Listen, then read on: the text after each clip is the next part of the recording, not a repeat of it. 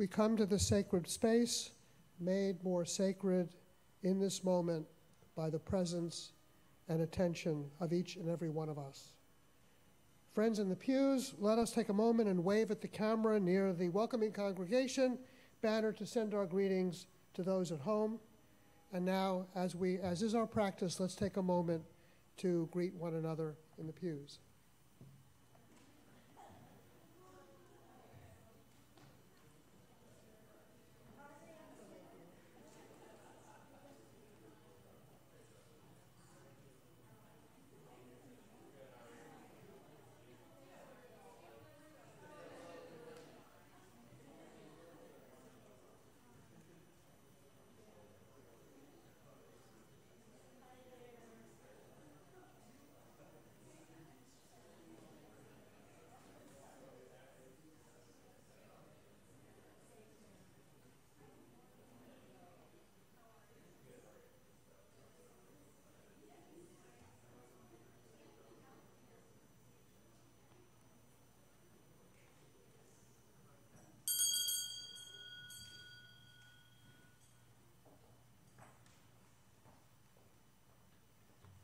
Welcome, everyone, to this morning's service of the Winchester Unitarian Society, a caring religious community devoted to spiritual growth, social transformation, and environmental responsibility. For those who don't know me, I'm Martin Newhouse, and I am serving as worship associate this morning. As a welcoming congregation, we affirm the full inclusion of people of all sexual orientations and gender identities. As Unitarian Universalists, our faith does not require us to believe in a dogma, a tenet, or a creed, and among us we believe many different things. We prize freedom of thought and open, honest discussion and questioning, because these we believe enrich both our spiritual lives and our work in the community. Indeed, we can still today, as I say every Sunday that I'm up here, we can still today proudly state, as the very first minister of this society, Richard Metcalf, said over 100 years ago, we do not regard even the best creed as final. We look for new truths and new statements of old ones. We maintain the unlimited right of free inquiry. But while our faith does not impose any dogma or belief, we recognize that it does call upon us to do certain things. And among these, we recognize the inherent worth and dignity of every person. And in that spirit, we greet with joy and fellowship all who are with us in the pews this morning and those who are with us via live streaming, and we welcome you all. And we are especially happy, of course, to welcome you to our next to last 2024 summer service. These are services led by members and staff of our congregation, and today's service will be led by Brett Mulder, whose theme this morning, as you know from the order of service, is mystical experience, healing, and spirituality. And after today's service, at around 11:20 or 11:30, there'll be a discussion with Brett about this morning's service and reflection. This will take place in the parlor, and all are welcome to join us there. And, we'll, and we will announce uh, that folks should gather for discussion by ringing that terrible bell in the Sims room. Our opening words this morning come from the philosopher and theologian Paul Tillich and he wrote as follows If we enter the levels of personal existence which have been rediscovered by psychology, we encounter the past, the ancestors, the collective unconscious, the living substance in which all living beings participate. In our search for the, quote, really real, unquote, we are driven from one level to another to a point where we cannot speak of level anymore, where we must ask for that which is the ground of all levels, giving them their structure and their power of being. Now it's time for the chalice lighting.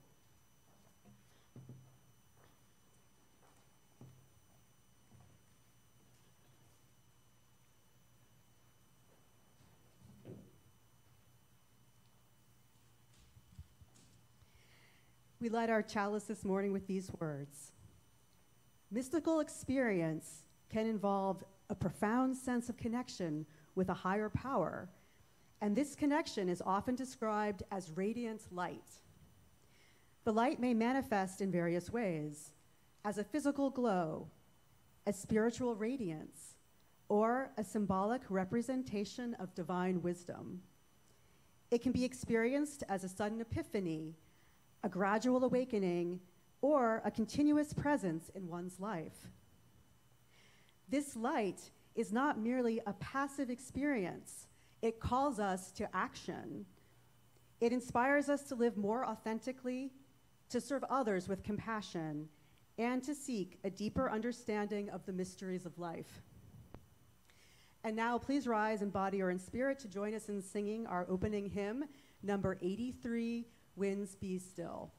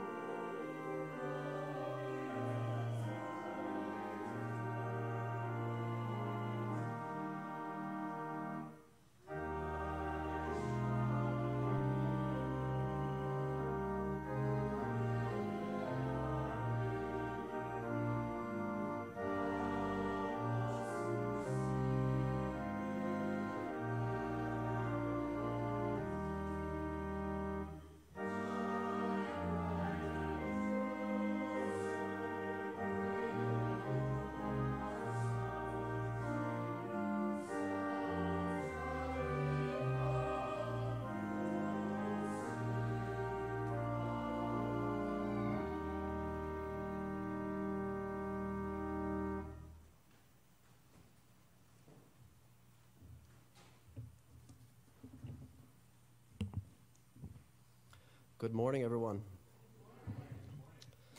So, for the meditation this morning, what I'd invite you to do is to close your eyes. And before I start getting into the meditation, I want you to close your eyes and bring attention to your body. We hold a lot of attention in our body. So, I'd like you to first focus on your jaw, a place where we often hold tension, and just kind of gently open your jaw, open your mouth. And then bring attention to your shoulders and focus on relaxing your shoulders. And then bring attention all the way down to your hands. We often clench our hands. Just open your hands gently, leave them open. And then bring attention to your hips, a place where we often have tension. Just focus on relaxing your hips. And let your attention go all the way down your legs to your knees to the bottom of your feet and just open up your feet, relax them, and open them up. And with your eyes still closed, I want you to just feel into these words that I'm going to read to you from a meditation from Jack Kornfield. So the meditation is we all need healing at different times in our lives. Sometimes we need healing for physical illness. At other times, we need to heal the traumas that we've suffered and find ways to release the difficulties of the past that we carry in our bodies. We need release from the struggles and emotions brought about by our conflicts, and the pain that we experience from the follies of humanity. To heal, we cannot reject our illness and grief or use anger and aversion to try to get rid of them. Instead, we have to bring a tender, healing energy to all that is sick or torn, what is broken or lost. Sometimes this is all that healing asks that we become present. You should never underestimate your power to heal when you step toward difficulty with courage and love, when you touch pain with healing rather than fear.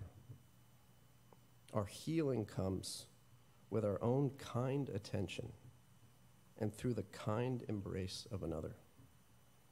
As long as you can, find a passion for the preciousness of life and bring this care to the healing of your heart and body.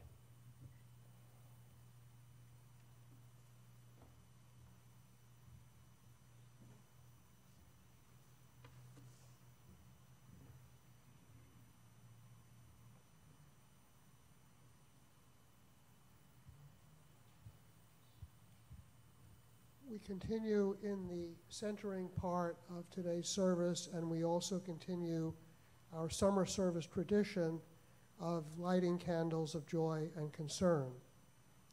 And we begin this by sharing our joys and sorrows and concerns, and by doing so, we acknowledge the mutual support of this wonderful community.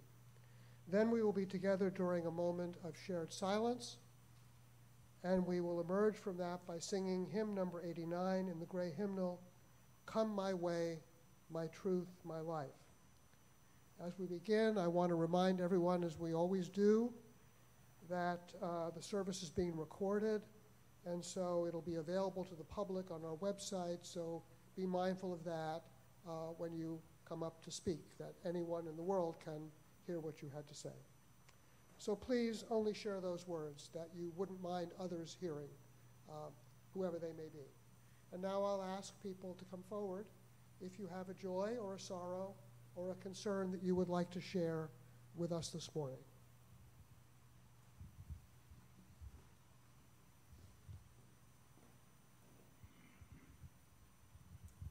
I'm Sheila Rudolph Correa, and my joy is that my daughter Star has an apartment and will be moving into her new digs over by Northeastern on September 1st, which is the same day that Ivan and I are going to Portugal. So it's going to be a bit of a rush for us to get from there to the airport, but uh, she's got a place to live. We're so excited.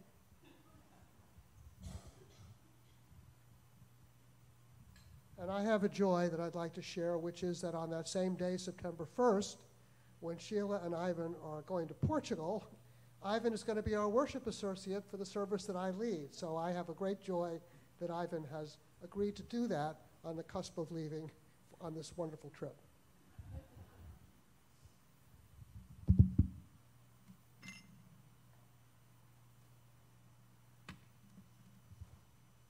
Hopefully, there'll be no last minute change. Would anybody else like to come up and share a joy or a sorrow or a concern?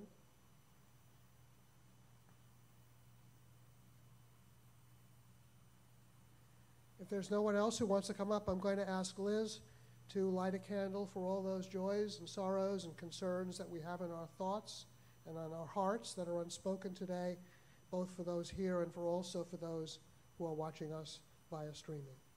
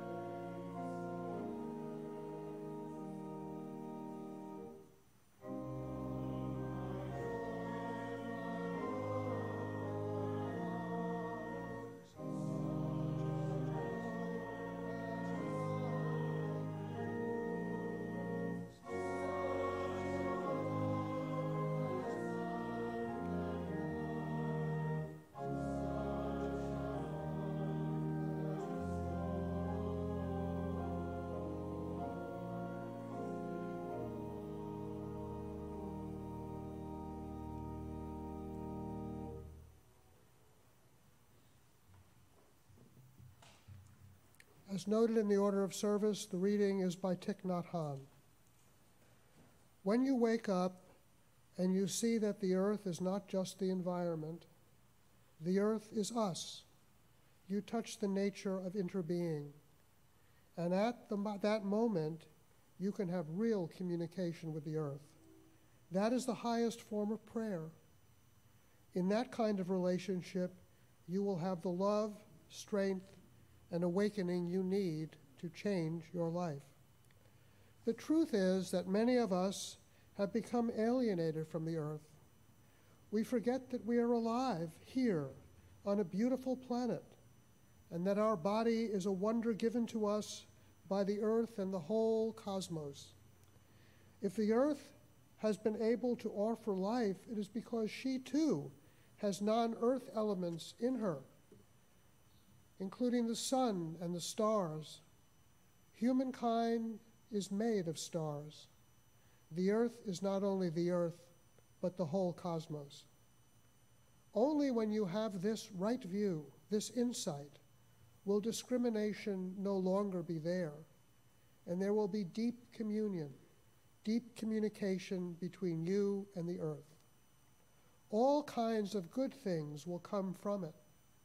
You transcend the dualistic way of seeing things, the idea that the earth is only the environment and that you are in the center, and that you only want to do something for the earth so you can survive.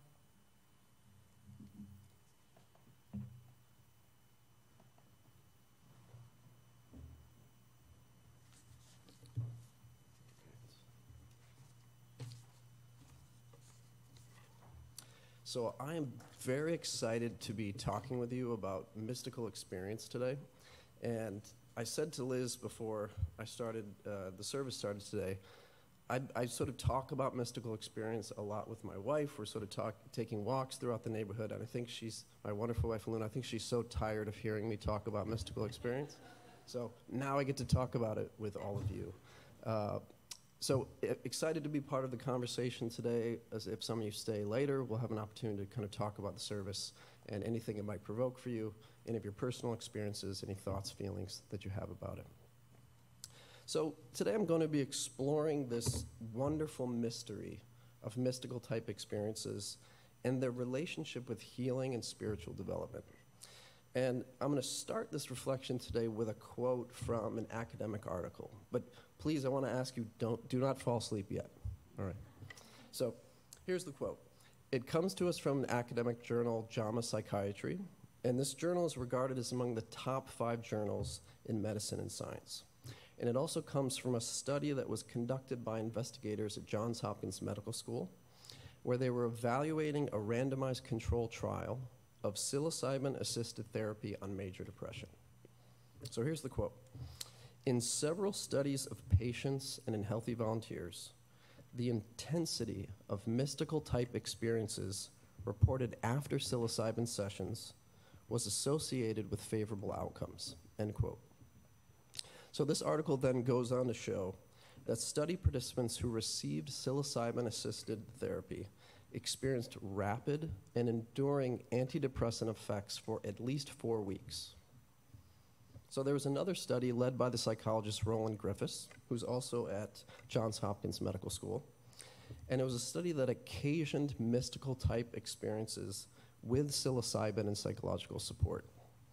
And what they found in this study was that approximately a third of the subjects who had these experiences, they evaluated these experiences as being the single most spiritually significant experience of their lives. I want to read that again. As being the single most spiritually significant experience of their lives.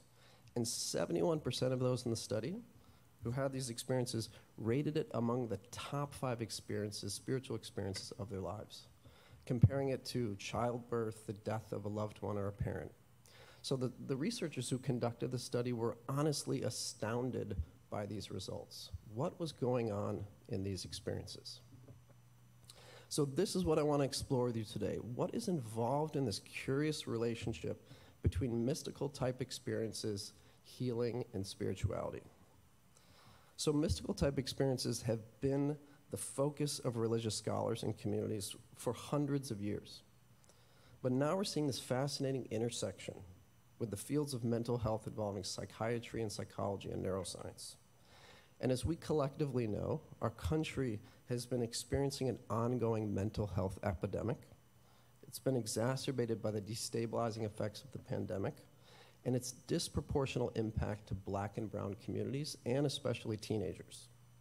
So, might a window into mystical type experiences provide a ray of light into what can foster our spiritual development and how it can help us to heal from suffering caused by mental health conditions?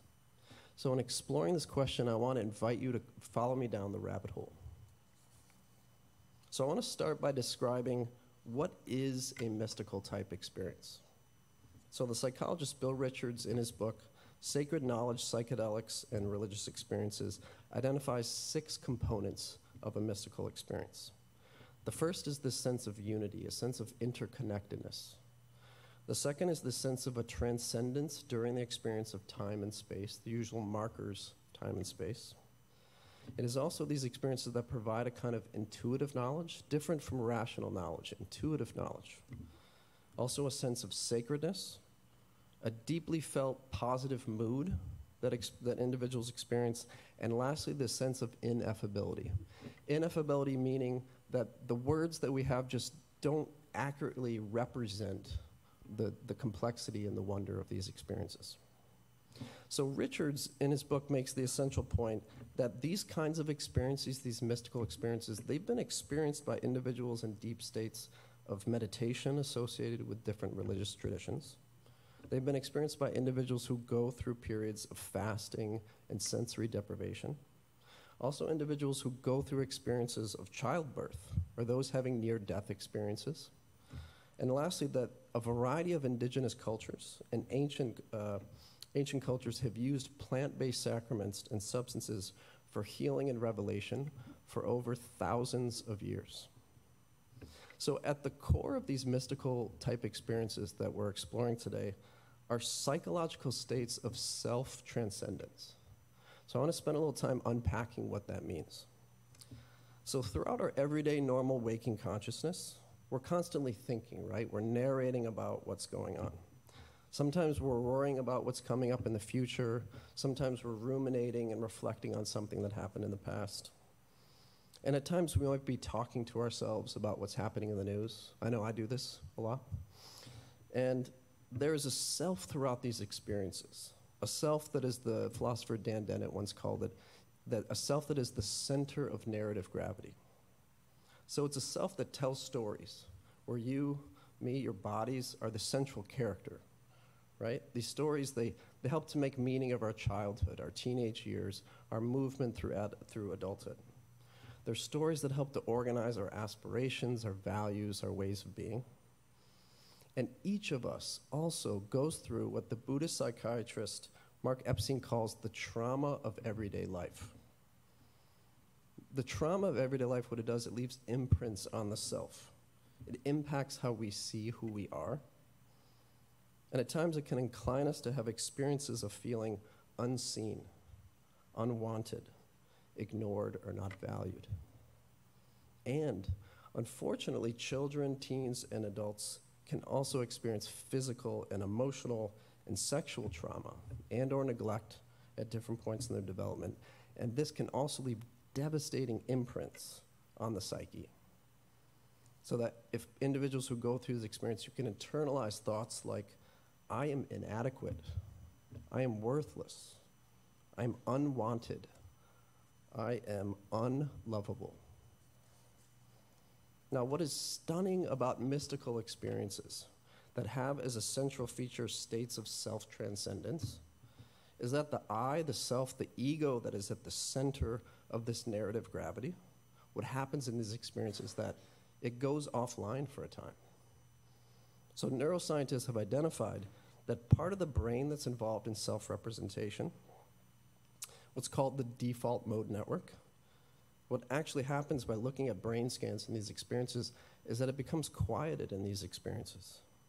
So, when this storytelling center dissolves, or in some cases actually temporarily dies, What can emerge are profoundly meaningful and spiritual experiences where a person feels a connectedness to nature, a connectedness to others, or even a connectedness to the entire cosmos.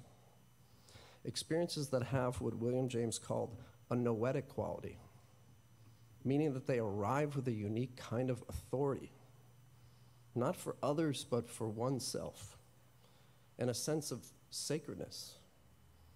These experiences, they reveal themselves as more real than everyday waking experience. So I want you to consider a description from a middle aged woman with a history of kidney cancer reporting after a psilocybin session.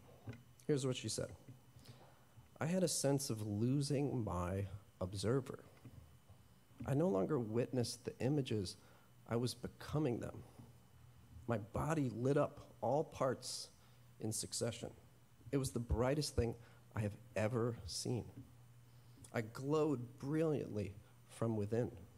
My whole being fluttered. I felt as if I was being breathed through or played like an instrument. Stunningly beautiful. I got that every part of all of us is sacred. The world is a misery out of love, presenting us with constant opportunities to find our way home.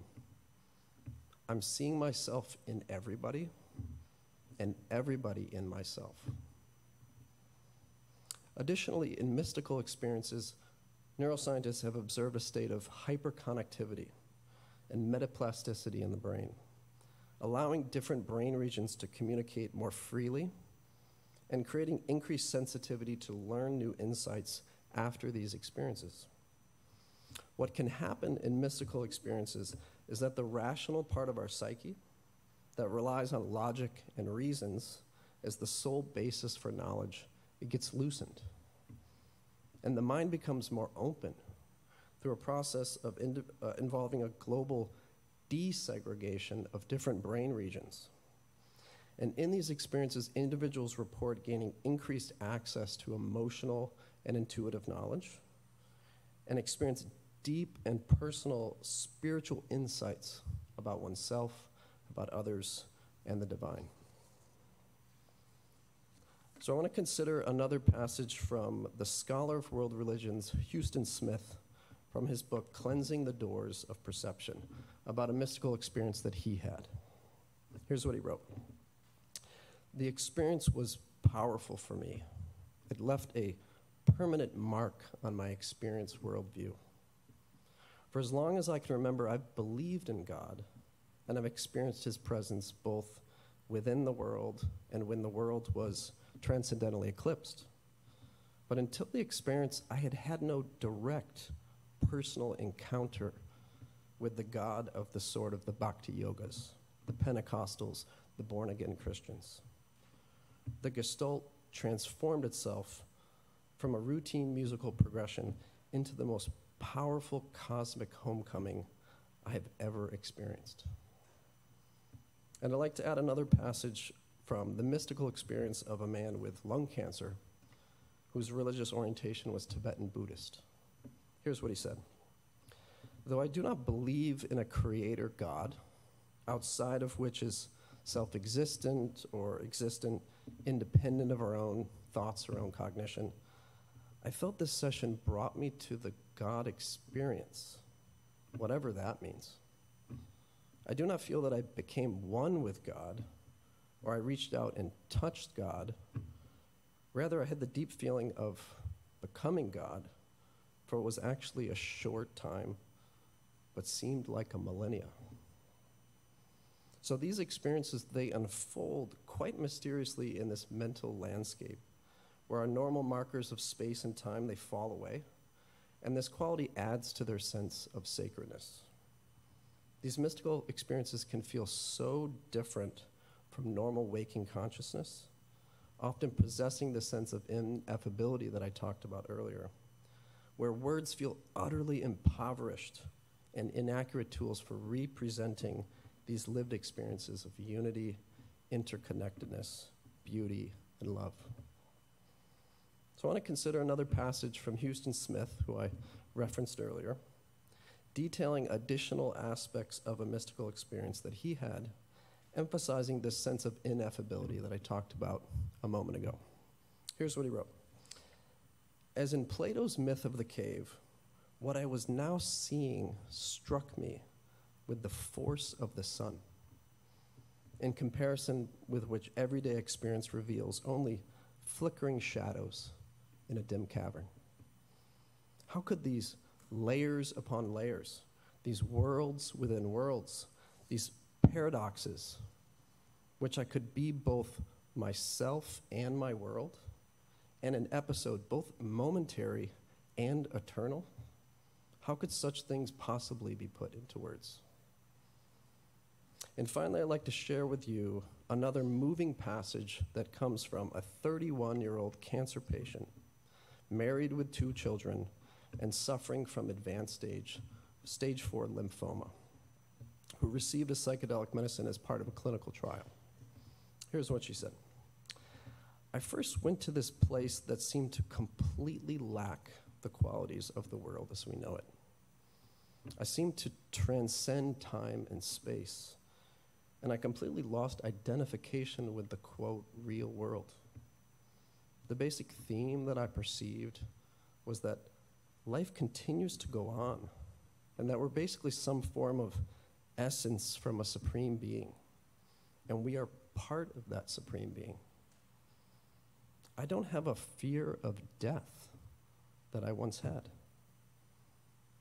I've found that everyday living seems to be much more enjoyable. Small things in life that I may have overlooked, I seem to appreciate now. I have a much greater understanding of other people and a much greater capacity to try to fulfill other people's needs. Overall, I think I'm a much more content individual, having had the opportunity to just glimpse for a short moment the overall thinking of God. To be reassured that there is a very beautiful, loving, masterful plan in the universe for all of us. So, in closing, I'd like to reflect on why I think it's important for our culture to care about and to be interested in mystical experiences. So first, we frankly, we need better treatments to help people, to help support people suffering from the destabilizing and disabling impact of trauma, major depression, anxiety, eating disorders, and substance dependence.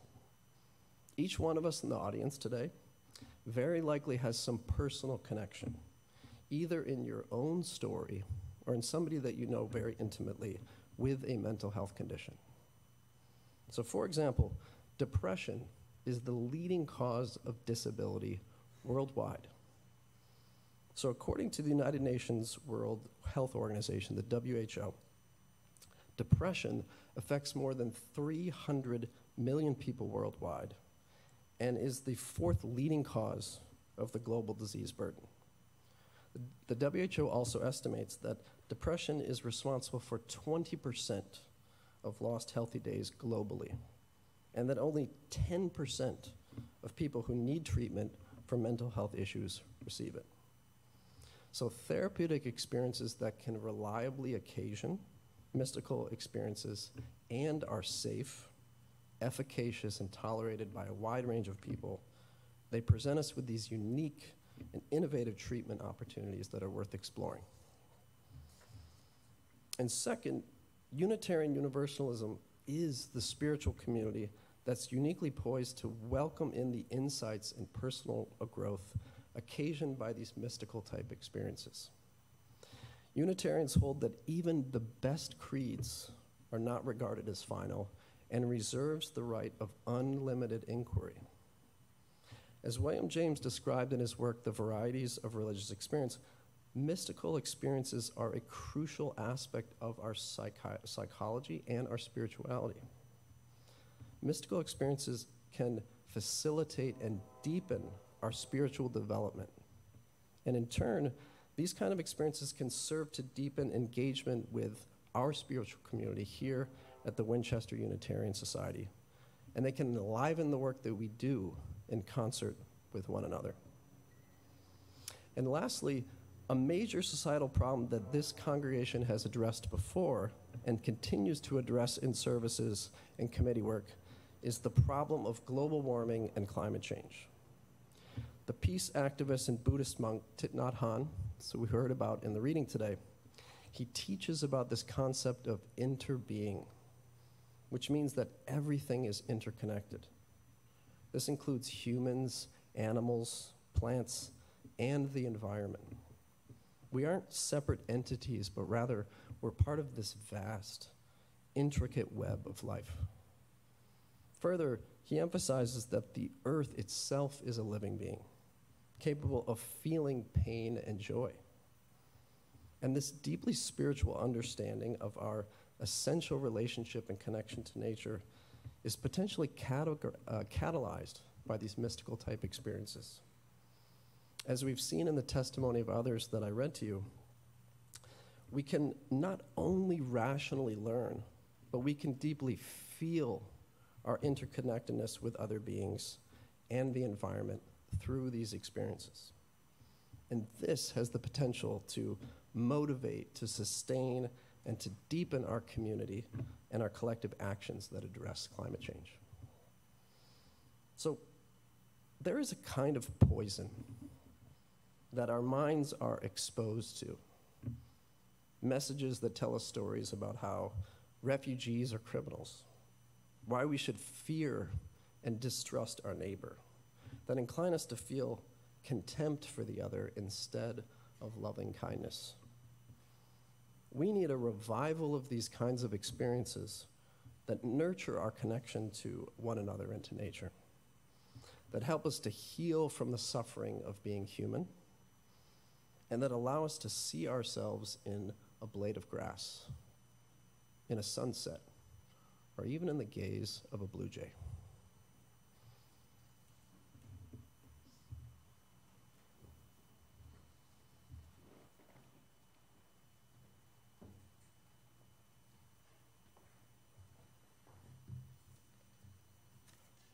Thank you very much, Brett, for that very moving reflection. We now come to the offering. Our weekly offering is an opportunity of dedication and invitation to live our values through acts of generosity.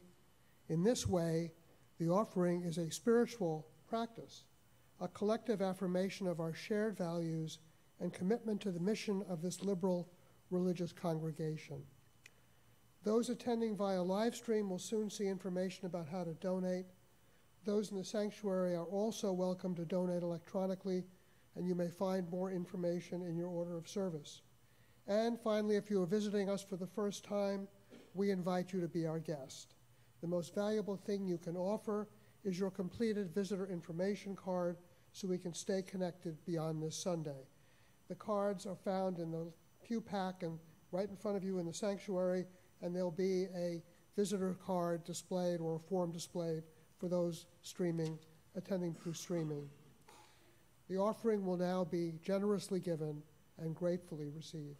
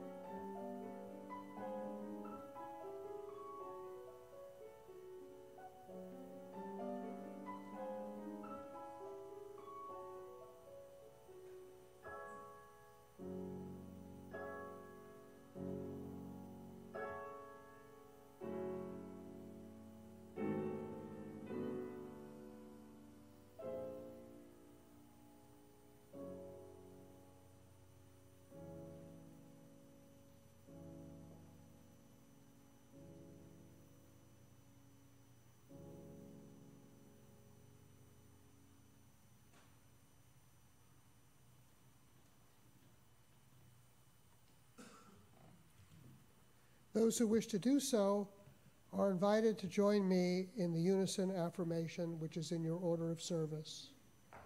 We gather not for ourselves alone, but to use our common power to build the beloved community within and beyond these walls. We create and reaffirm this covenant this day to make justice flourish, to practice compassion amidst difference, and to embody transformative love. Now, please rise in body or in spirit to join in singing our closing hymn, number 92 in the Gray Hymnal, Mysterious Presence, Source of All.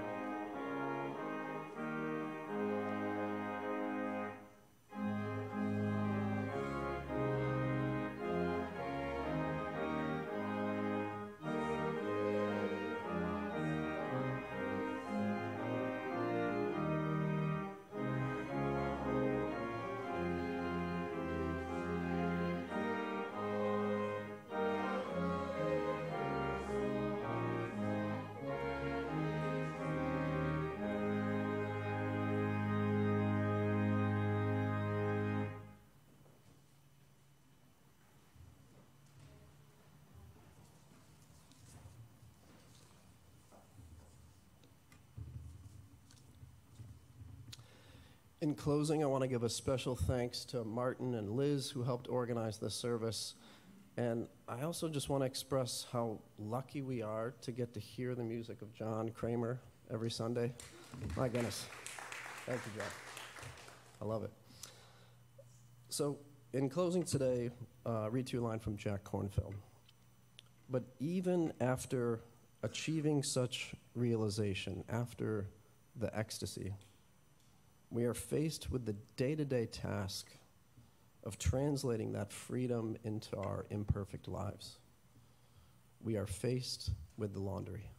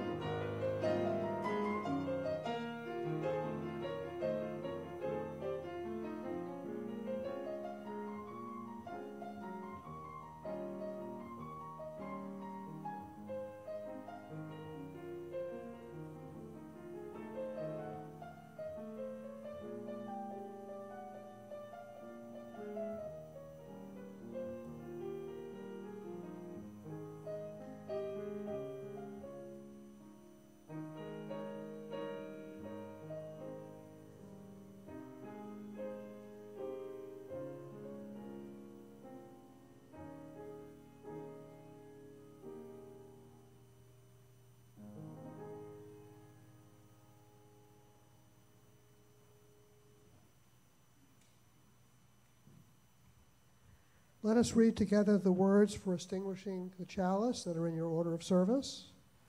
We extinguish this flame, but not the light of truth, the warmth of community, or the fire of commitment.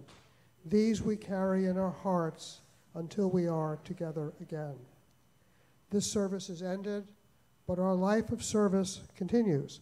Let us now gather in the Sims room for friendship and refreshment, and then all are invited to join our after service discussion in the parlor.